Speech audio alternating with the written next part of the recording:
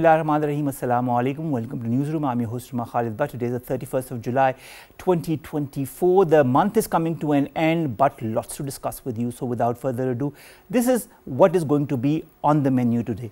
We will begin, ladies and gentlemen, with the situation in Palestine. Two very, very important events that have happened. One is the killing of uh, Ismail Haniyeh, who is uh, who was of course the leader of uh, the faction of Hamas, uh, the Palestinian faction that uh, was in, in, of course against uh, what had been happening in Israel and had and this is a group that Israel had been after since day one of the conflict between the two countries. He has been assassinated in Iran, in Tehran and uh, we will of course be uh, highlighting different details but uh, but what is very I wouldn't say strange but no, uh, leads to a lot of cautionary statements is the fact that there has also been uh, an attack in Beirut that has killed scores of people and Israel says it has, Israel has claimed that it was behind it, but it says that it was targeting a, a, a certain entity.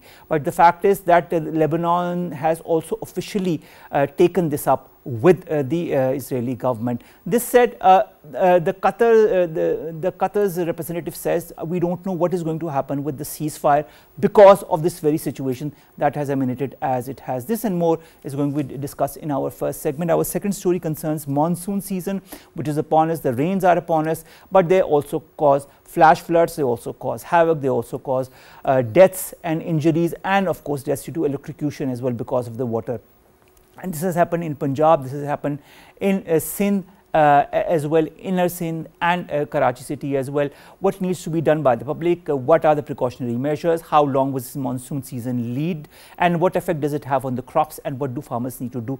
This and more will be discussed in our second segment. Then we are going to talk about uh, uh, India's Kerala, where a search for survivors is going on. Bodies uh, have you know clumped up after landslide that has killed at least 150 people. Then we are going to talk about the 131st birth anniversary of Muhtarma Fatima uh, Jinnah that is, has been observed today and is con uh, continues to be observed today. She has played a vital role in the creation of our country that is Pakistan and of course she is a sister of our founder Quaid-e-Azam Muhammad Ali Jinnah.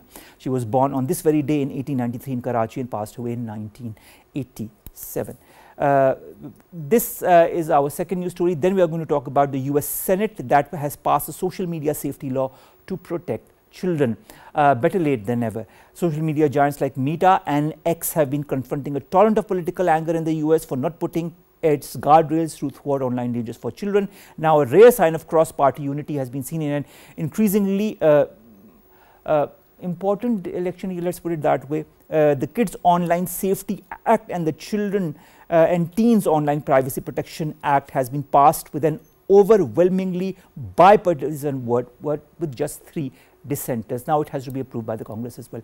This is going to be our lineup for today. Let's begin with our first story and that concerns the situation in Gaza. This is day 299 of uh, the war between Israel and Palestine that has begun. But what is extremely important is uh, the events that have led to this very day. Uh, it's the, poli uh, the, political chief of Hamas, Ismail Haniyeh, has been killed in a treacherous Zionist raid on his residence in Tehran, says a statement.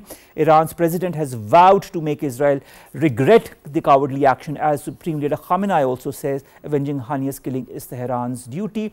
A lot of other countries have also uh, reacted to it and uh, the US uh, it seems is trying to uh, disseminate the situation kind of uh, uh, weather down the whole tensions that have embroiled because what is very evident is an escalation of the war. We've been joined by Khalid Taimur Akram. He's an international affairs expert right here in the studios, joins us after a long hiatus. Khalid Saab, thank you very much thank to have joined us. And uh, online, we've also been joined by Afzal Reza. He's a journalist who joins us from Tehran. Let's begin with you, uh, Khalid Saab. Khalid Saab, Hamas says its political chief Ismail Hani has been killed in what it says a treacherous Zionist raid on his residence in Iran.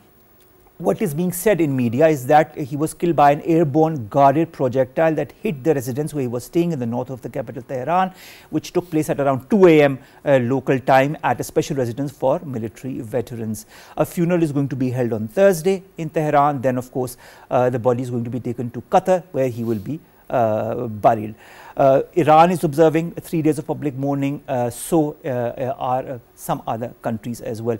Do you feel you know, uh, what what led to? I mean, I'd like to understand what led to Israel uh, making such. I mean, I don't know the adjective that I should put. Such a move. Let's put it that way. Uh, uh, isn't it moving towards regional escalation? This whole situation. Add to it what happened in Beirut. Uh, yes. first of all, we need to see that who was Mm, uh, who was Ismail Haniyeh, what is his background. He was born in 1963 and uh, his association with Hamas started at a very, very early age. And then uh, uh in 2006, uh, he won a majority in the elections and he was prime minister for almost one and a half year. And in 2007, then the President Mahmoud Abbas, he dismissed his government. And he was seen as a symbol of resistance. He was seen as a person uh, around whom uh, most of the Palestinian gathered, uh, whether people in Gaza, whether the Palestinian diaspora, um, uh, they were all for him because of his pragmatic approach and his, uh, I would say he was a rigid also and he was uh, to some extent flexible also when it comes to the negotiations. And he was one of the key men during last 200 days, 200 and plus days Uh, as you said uh, in the Gaza resistance also. Uh, so his killing will definitely make uh, lots of ripples uh, among Hamas. he was on the hit list of Israel and I think Israelis thought that with his killing the resistance will uh, slow down. But I think that with his killing, with his martyrdom, uh, he has he will now become a symbol of resistance. Hmm. And uh, this resistance is going to be now uh, spread over in the complete uh, region. Hmm.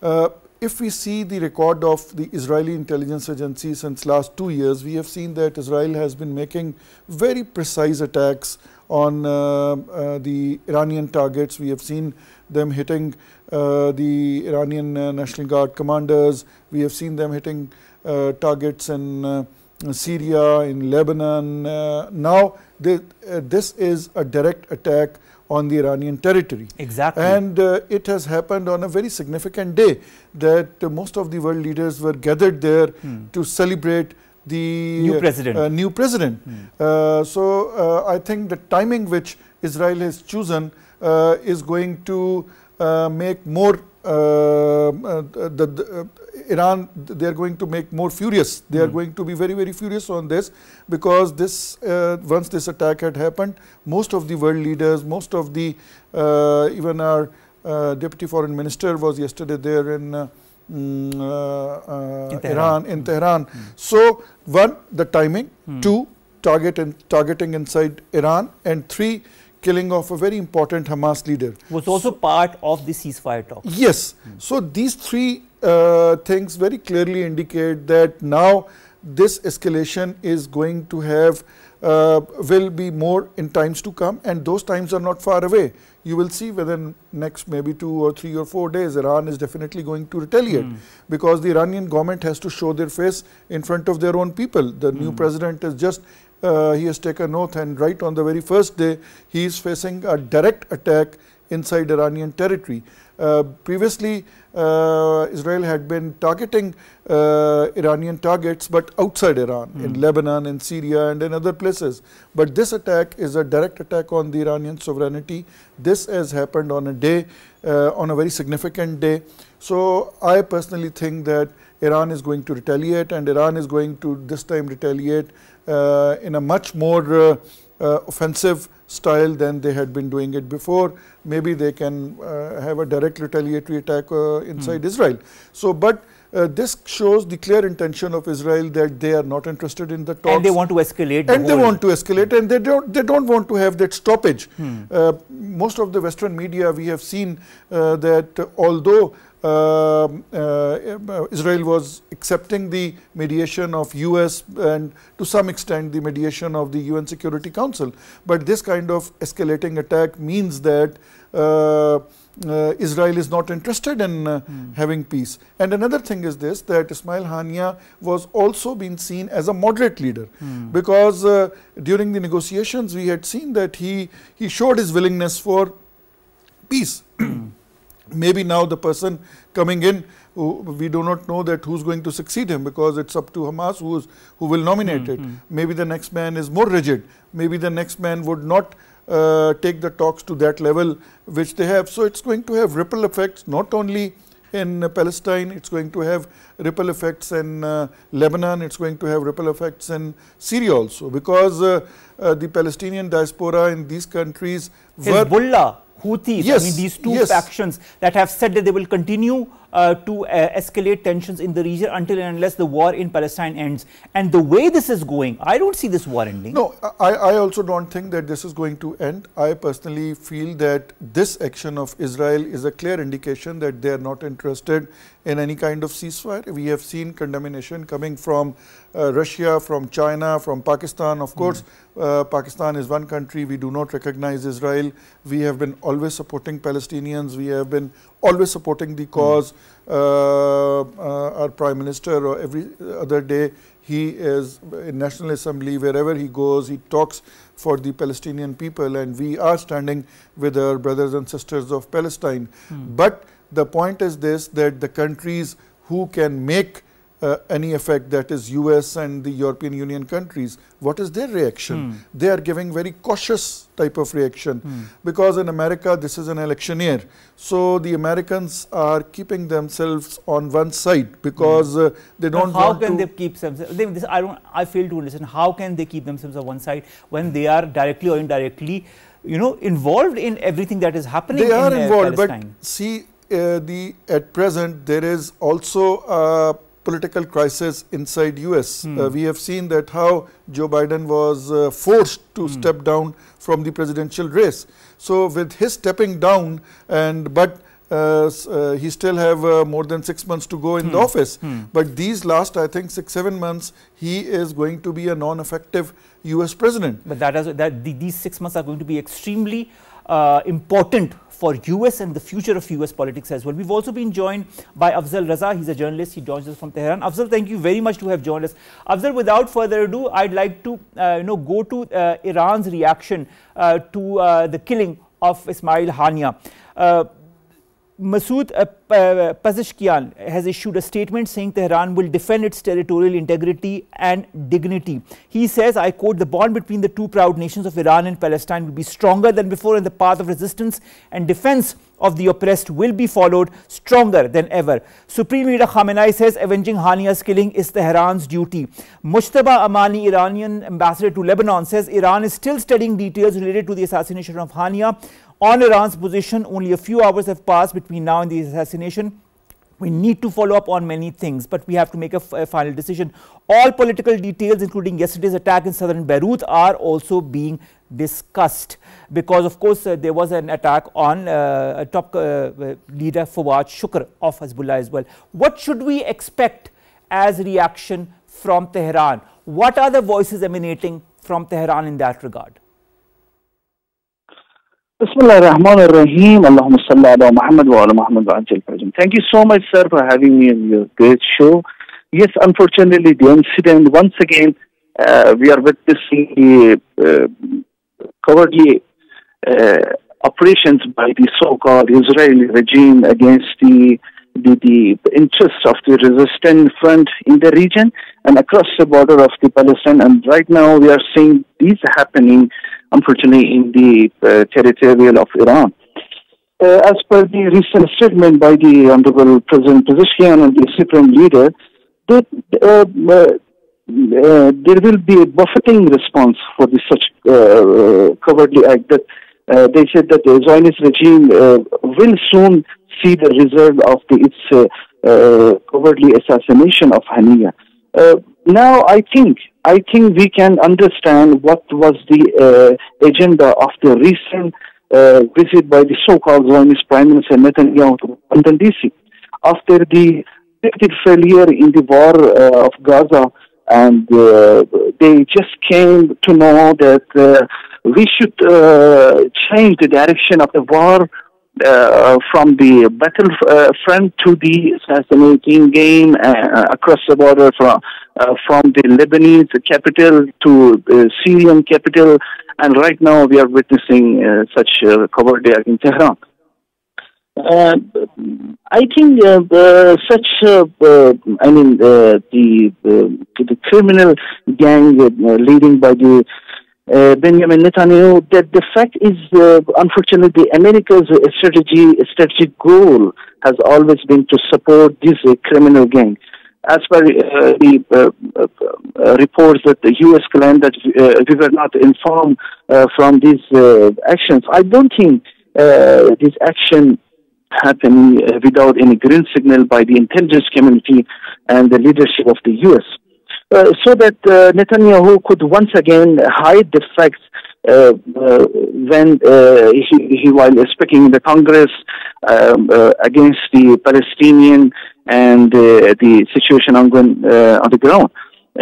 on the other hand, the condition of the U.S., which is a big supporter of Israel, should also be considered for the current situation. I mean, today the Biden administration is finished in the sense that he has clearly announced that he will not run in the upcoming election. And therefore, if Biden administration wants to make any promise to uh, to his uh, ally, I mean the terrorist uh, regime's prime minister, uh, from any government or, or, country, he will definitely, and uh, I mean his uh, friends for the upcoming election in the United States is not of much importance because both are in the middle of the election campaign and are not in the position make promises to Netanyahu. But after the recent visit by the Netanyahu and the um, uh, he faces more pressure from the its citizen uh, citizen to uh, to carry out to manage the uh, captivity uh, within the Hamas uh, territory in the Gaza.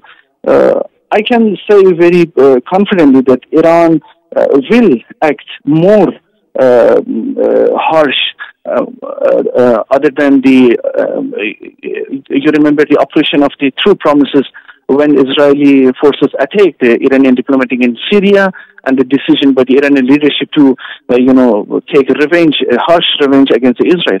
After the successful of the operation of uh, true promises, and now uh, this happened in, in Iran as um, Shahid Haniyeh was the honorable guest of Iran, and it is happening uh, happening in the Iranian territory. So there would be, there should be, I mean, uh, uh, strong and response from the Iranian side. Okay, all right. stay online with us, Afzal. I'm going back to Khalid Taimur Akram. I'd like to understand where, on the one hand, Pakistan, Turkey, and Russia have taken out statements, and uh, uh, Turkey has taken out very strong statements. So has Russia, so has Pakistan. Uh, the uh, Turkish uh, Foreign Ministry says the assassination aims to spread the war in Gaza to a regional level. I mean, this is what we had been discussing. But at the same time, uh, Lin Jian, who's a spokesperson for China's Foreign Ministry, on the one hand, while condemning the death and said that Beijing is deeply concerned as this incident again, just like the Turkish Foreign Ministry said, may lead to further instability in the regional situation uh, and talks about a permanent and uh, comprehensive ceasefire. How important, if you remember well, China was the one who was behind uh, the, the, the, whole declaration, Beijing declaration between all the 14 factions just a couple of uh, days back in Beijing. How important could China's role be now under this current situation when there is a huge chance that there could be an, a, a big, big escalation of this current situation? Uh, about escalation, uh, escalation is going to happen because this cannot be stopped right now because uh, as I said that this attack is not attack on Hamas, it is basically a direct attack inside Iran and on the sovereignty of uh, Iran. So Iran is going to definitely retaliate. Uh, with this attack, Israel has basically spreaded, spread its wings uh, for a regional escalation. Yes, China has been playing a very important role. We have seen previously China has played a role between Iran and Saudi Arabia. China is uh, uh, the stabilizing factor right now in complete world. China has been talking with Hamas factions because China wanted that all the Palestinian faction should get together on one platform and then they should have negotiations with the um, uh, Israelis and with the, in Qatar uh, with the US and with the Security mm. Council so that whatever solution uh, they come up to will be the uh, and should be the consensus solution of voice of all the Palestinian people. Mm. So this uh, killing would definitely derail that uh, would uh, derail the process which China has already started. Hmm. But I think if the uh, all the leaders of the Palestinian all factions, if they have to behave very responsible and in this time they should not come uh, uh, into the bait which Israelis have again given them to disintegrate and uh, to have their own voices because I mean, herein is the need for a joint front. Yes, for the joint front and I think uh, they will uh, give out a joint statement. Uh, one thing is this that uh, Hamas has announced that he will be buried in Qatar. Hmm. His uh, burial in Qatar is very very symbolic. if we look at where he was born, he was born in a refugee camp in Gaza in 1963 and if, his burial in Qatar will be a symbolic burial uh, uh, so that it would give out a message that all the Muslim countries and all the Muslim Ummah is uh, behind mm. the Palestinian people because otherwise they could have buried him in Gaza or uh, within the Iran. So uh, Qatar accepting his burial uh, means that it is a sort of a message to Israel also that all the Muslim Ummah is standing behind the mm, uh, all factions of Hamas and all the Palestinian people. Now coming over to the role of China. China's role is very, very crucial. China will keep on playing that role because China thinks that war is not the answer, escalation is not the answer. As I told you before that US is playing a very dominant role because they, their elections are coming up and as we know that uh, in US all the big business houses are uh, and the Jews are the main donors in the US election on the both sides. So if you will see whether uh, it's uh, Trump or Kamala Harris, whosoever uh, would come on the stage, they are not going to condemn any of the Israel's mm -hmm. actions mm -hmm. because uh, they need funding for their uh, uh, thing. So this void of US playing any kind of positive role, I think it is filled by China and China's allies, including Pakistan, Turkey, Russia, hmm. and China is on the forefront. But this action will definitely uh, derail the uh, ongoing negotiations for some time. And uh, if in this time Israel escalates more attacks uh, and the ceasefire uh, is um, uh, not been acted upon, so I think next few months are going to be very, very terrible because hmm. US right now is not any position to play any kind of significant role and they will not play because they are more now concentrated on their on domestic elections. politics mm -hmm. and on their elections. All right. Uh, Afzal, coming to you, uh, when we look at the different statements that have emanated after the assassination of Ismail Haniyeh, Pakistan condemns it. Pakistan's foreign officers in a statement that they, of, of course, extend their condolences to the family and that Pakistan condemns terrorism in all its forms and manifestations, including extrajudicial and extraterritorial killings, irrespective of the motives and they are also shocked by the timing of this reckless act coinciding with the inauguration of the president of Iran. Russian spokesperson Dmitry Peskov says the Kremlin strongly condemns the killing of uh, the, uh, Ismail Haniyeh. We believe such actions are directed against attempts to restore peace in the region. Rush, Deputy Russian Foreign Minister tells the Russian uh, agency, uh, Novosti State uh, news agency, that the killing of Hamas's chief political leader is an absolutely unacceptable political murder. Turkish President Recep Tayyip Erdogan condemns this assassination of his close ally and brother and says the killing will not break Palestinians' will. Uh, Turkish Foreign Ministry says the Hani assassination attempts to spread the war in Gaza at a regional level. Malaysia says it condemns all acts of violence including targeted assassination assassinations. Then, of course, is also Qatar's foreign ministry statement that says it condemns in the strongest terms the assassination of Ismail Haniyeh in Tehran. And the ministry affirms that this assassination and the reckless Israeli behavior of continuously targeting civilians in Gaza will lead to the region slipping into chaos and undermine the chances of peace. How important are these statements and what impact do such statements have on the current situation? See, my brother, as, uh, as you know, uh, we expected from the Security Council of the United Nations to come uh, forward and look the matter and trying to, you know, stop the uh, such uh, uh, and judicial killing and assassination by the Israel. But unfortunately, the Security Council already uh, the pressure by the some, you know, so-called uh, power factors.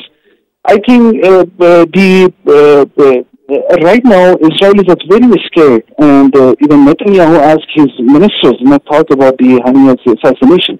And the assassination of the uh, Shahid Haniyeh is uh, in Tehran proved once again that the Netanyahu and his occupying government never won successful, uh, never won any ceasefire and any successful thought to, you know, the end uh, ongoing uh, war in Gaza. Even they're trying even they, uh, they push the uh, the one-sided uh, war from the occupied Gaza to the Strip of Rafah and the West Bank, and now we are witnessing such cowardly act happening in Tehran.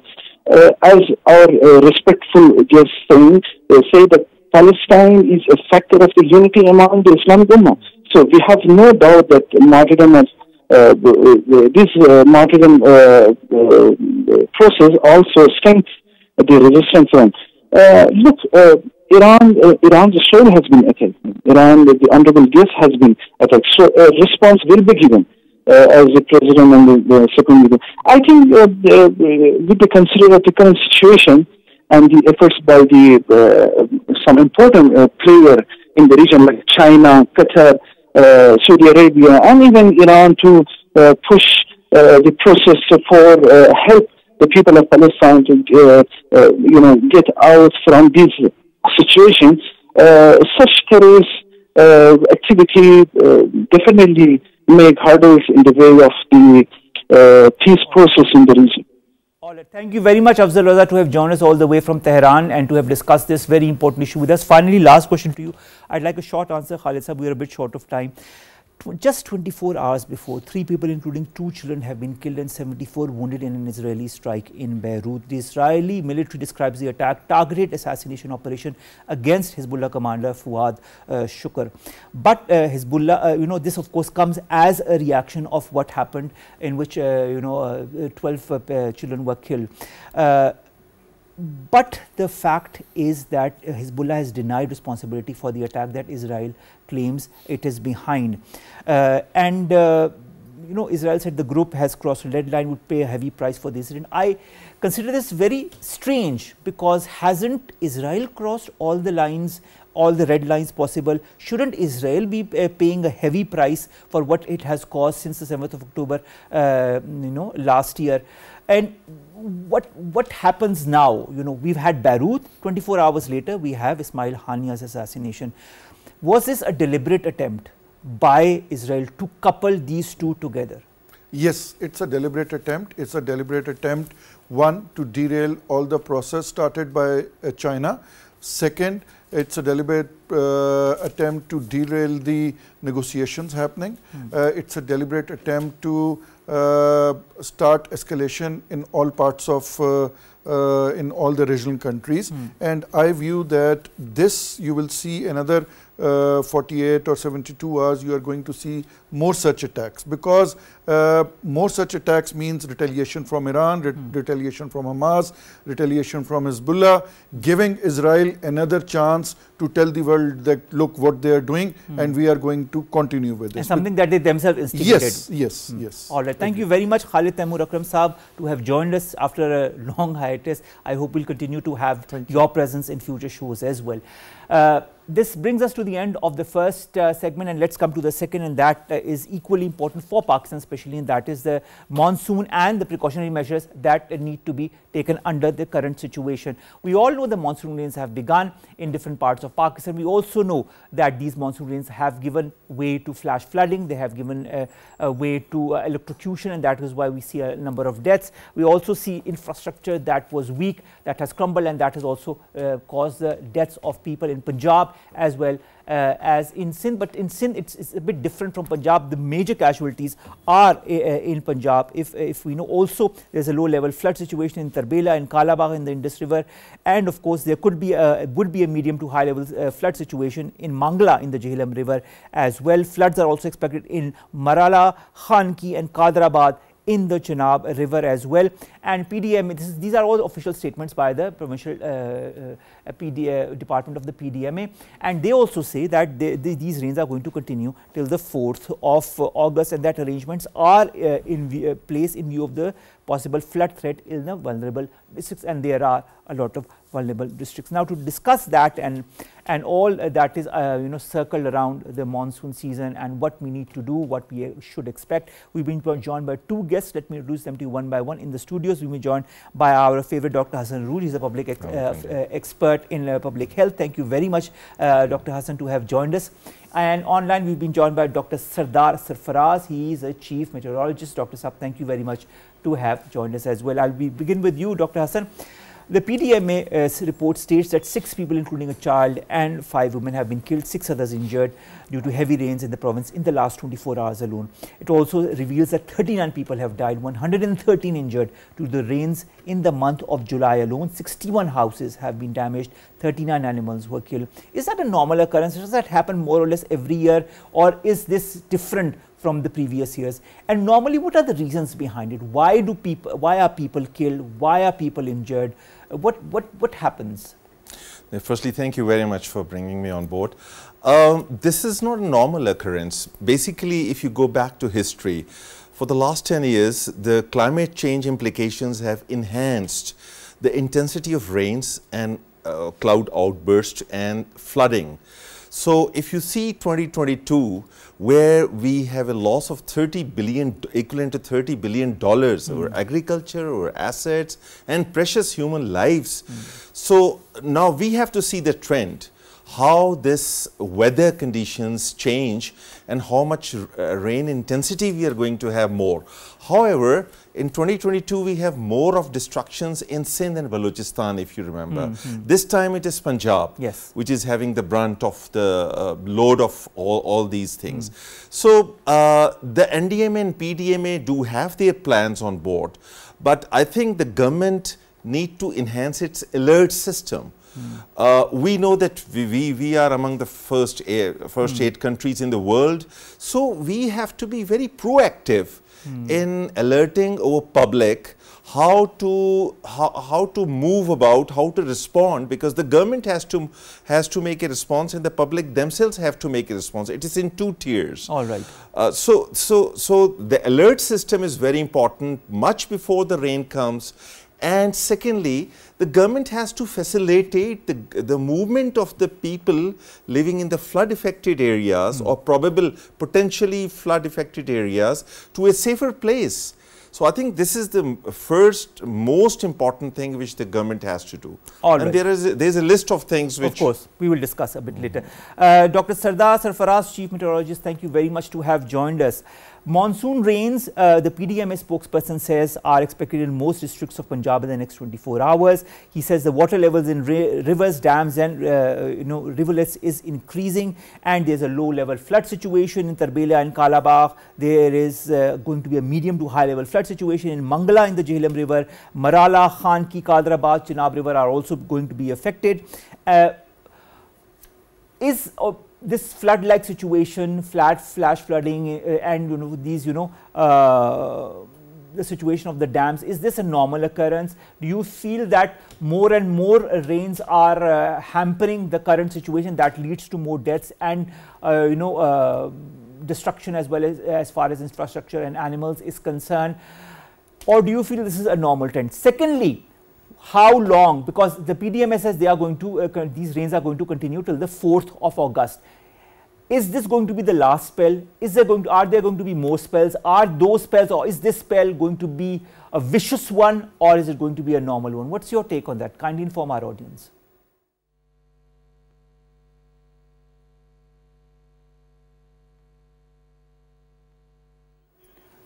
We can't hear you, uh, Sardar Sarfaraz If you can, uh, maybe there's a, a, mute button that you haven't uh, clicked right now. If you could just unmute it so that we could hear your conversation.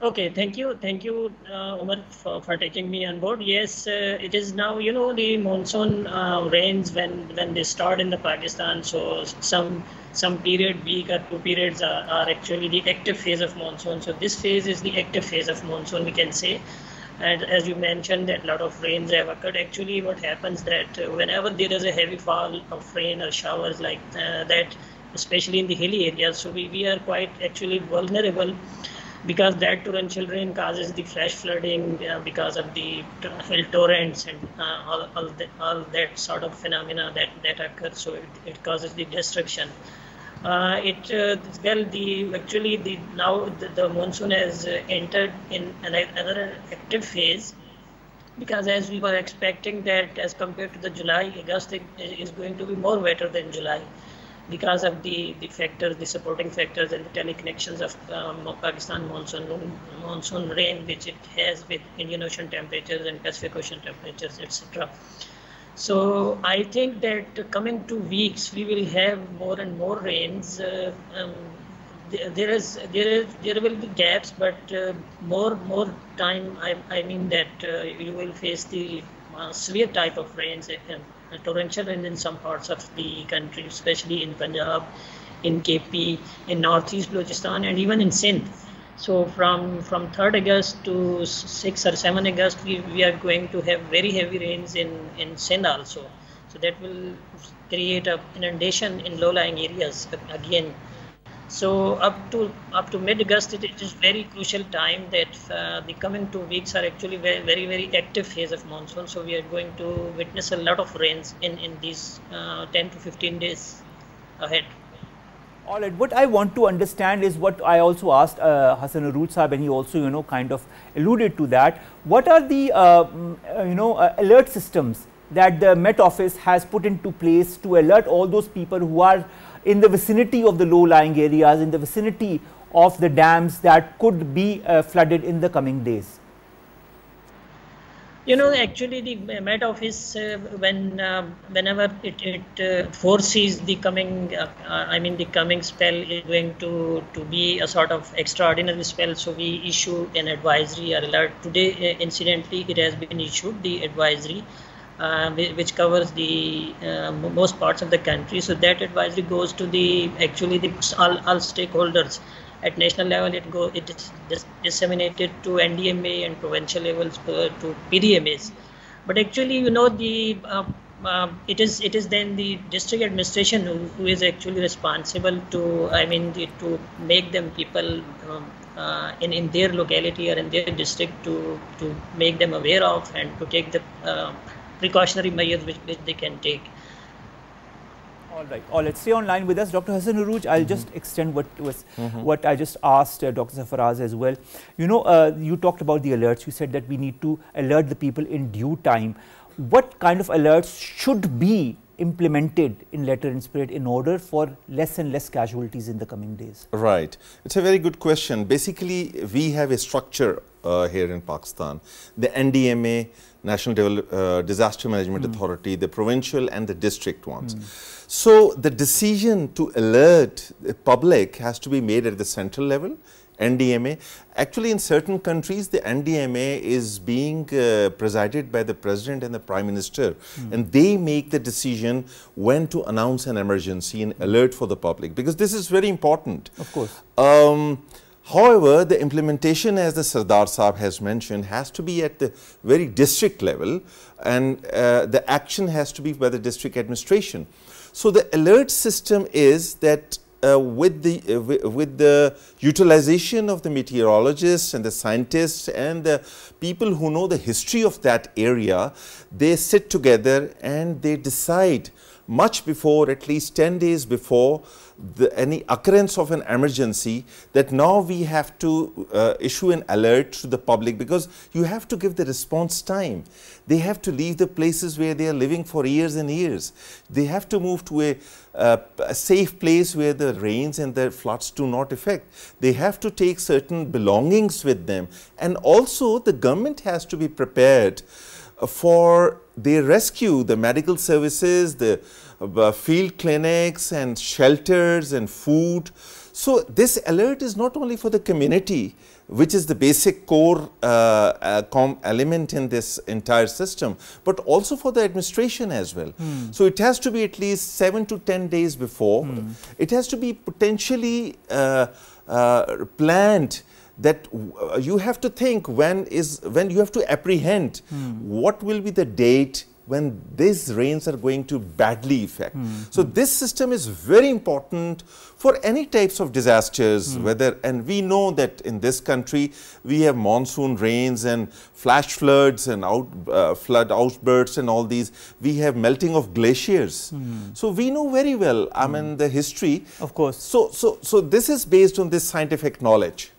Hmm or what uh, kind of precautions in your point of view, Dr. Hasan Orooj, does the public need to take? Whether they are alerted or not is another question altogether, but everybody knows the rains are here. Mm -hmm. Everybody knows the situation is uh, dire because of uh, the water that is increasing, the levels that are increasing in the rivers and the dams uh, and the embankments. What precautions should people take? Right. There are two sets of precautions. One is by the government and second by the people. Mm. The government has to issue an alert as we have already mm. decided. The government, there are, it is more of the, more of, most of the times rural flooding. Okay. So, but every village is now provided with the electricity. Mm. You must have read in the newspapers that a couple of people have died because of the electrification. Mm. So the government's duty is to put off the central uh, electrical point, mm. but that is also required. Hmm. Uh, and but they have to uh, they have to interrupt the electricity and they have to teach people that how they should keep away from the poles. Hmm. Number two, the water contamination has to be seen very precisely. Uh, the systems in the villages or in the cities, they, the water is contaminated. That is the basis for the spread of uh, uh, many fatal diseases. Mm. Number three, the government has to build embankments. And number four, a long term where the dams have to be built. Now, your question, coming to your question, the people have to take the precautions. They, they, they, they have, there is indigenous wisdom within the communities and they know when the floods is going to come. The government has its own role, but the people do have their own role as well. Mm. So people have to move the, uh, number one, you know, the settlements in the areas, high risk areas, which are on the way of the floods should be discouraged I mean, it has to be understood whether it is their forefathers' land or whatever. Mm. It is their life, it is their assets. True. So they have to think of alternate places where the flood doesn't affect. Number one. Number two, they have to take their necessary belongings. Uh, with them the necessary medicines and for food and food shelter, certain basic things. And fourth thing, which I think very important is communication. Mm. Everybody has a mobile. Mm. They should have a power charging so that they should call 1129 mm. for for the PDMA for the PDMA hmm. exactly, or any medical center hmm. or a police or any any first aid hmm. for any type of help. This communication should not be disrupted. All so right. the people should understand. And fourthly, the dehydration occurs very commonly. So a very um, indigenous formula is the black salt plus lemon mm. water mm. Uh, replenish all the minerals and the vitamins. All right, that's very interesting and I think I hope that the people have understood that uh, uh, black salt plus lemon water. Plus lemon water. Okay. That has the potassium, the sodium, magnesium and zinc. All right, wonderful. Uh, Dr. Sardar Sarfaraz, uh, what effect uh, is this spell of monsoon or the coming monsoon till mid-August is going to have on the farmers community and on the crops as well? Is it going to be disastrous? Could they survive? What, what is the impact? Uh, actually the, the this uh, spell is going to be quite heavy. So as you know that uh, just we have seen in 2022 that uh, when uh, all along there, there was a lot of rain and continuous rainy spell in the month of august. So that also inundated the standing crops uh, in province of Sindh and Balochistan some areas of Balochistan. So I'm afraid that in Sindh, for example, the the crop of cotton is going to be affected by heavy rains. So similarly, the in the hilly areas the, where the local crops uh, are, uh, I mean, the, uh, if the rain continues and continues, so that is going to be affect also um, because of this heavy spell. This heavy spell is going to create a lot of flash flooding as well as the um, the urban flooding in big cities also because it is a very uh, I mean the heavy spell coming on. So the affected areas uh, may be the southern Punjab, the hill torrents from Dera Ghazi Khan and the adjoining Balochistan hilly areas. So that that water else, uh, actually when gush, gushes out, that also enters uh, the some districts of the Sindh, uh, northwestern districts and northern districts which uh, are uh, adjacent to the Balochistan. So those areas are going to be, I mean, affected by this spell and I'm afraid that if this spell, uh, I mean, uh, is, is heavy spell, but uh, if it is it is followed by another heavy spell, then that situation uh, will be quite, I mean, the devastating one. Okay, thank you very much, uh, Dr. Sardar Sarfaraz, Chief Meteorologist, to have joined us, and thank you very much, Dr. Hasan Orooj, to have joined us as well in the studios as a public health expert. I hope we'll keep on getting you for uh, various issues because monsoon hasn't ended, and the plight of the people, of course, uh, will be there because of the effects of this and climate change because Pakistan has been suffering from that for, from so such a long time and 2022 uh, for, you know uh, uh, floods are just an example of what Pakistan is going through. Let's hope, let's pray it doesn't happen this year as well. Thank you very much Dr. Hasan to have joined us. Let's come to our last three stories very quickly. The first is uh, uh, India's Kerala where the rescuers are searching for survivors after landslides killed at least 150 people. Now this is also because of the relentless downpours and the winds that hampered the search for survivors. Uh, these landslides uh, struck Indian tea uh, plantations and killed at least 150 people, most believed to be laborers and, and their families. Now, days of torrential monsoon rains have battered this, this, southern capital state of Kerala, which has blocked roads into the, other district disaster areas, complicating relief efforts as well. We hope, we really wish for all the people Uh, the maximum you know rescue operation, uh, uh, maximum effect of this rescue operation that is going on in Kerala. We wish the people of Kerala also all the very best and also the rescuers as well who are helping them in these efforts. Then today, ladies and gentlemen, is the 131st uh, birth anniversary of Muhtarama Fatima Jinnah. She is known as Madre Millat, a mother of the nation because she was not only instrumental in the creation of Pakistan, she led the women's movement and she was of course the sister of our Qaid uh, Muhammad Ali Jinnah as well. She worked side by side with her, gathered, uh, gathered the women of the subcontinent on one platform which made the struggle for achieving a separate state of Muslims easier. She was born on this very day in 1893 in Karachi. Our Prime Minister has also uh, has said that Fatima Jinnah's commitment to promoting democracy was both remarkable and inspirational. Finally, ladies and gentlemen, the US Senate has passed social media safety law to protect children uh, in a rare sign of cross-party unity, which we don't see, but it was seen here in increasingly rancorous election year. The Kids Online Safety Act and the Children and Teens Online Privacy Protection Act both were passed by overwhelming vote with just three dissenters. Uh, but of course, the, uh, the bill pay, faces an uphill task because it has to uh, go through the House of Representatives where Republican Speaker Mike Johnson has spoken broadly in favor of the package but has not scheduled a vote as well. Senate Majority Leader Chuck Schumer in a statement said today was a momentous day. The Senate kept it, its promise to every parent who has lost a child of the risks of social media. Just goes on to show the importance of how uh, social media needs to be regulated, especially for kids, especially for vulnerable kids. With that, ladies and gentlemen, we come to an end of today's newsroom. We'll see you inshallah tomorrow with news stories and segments that pertain to us, you in Pakistan. Stay safe. Allah Hafiz.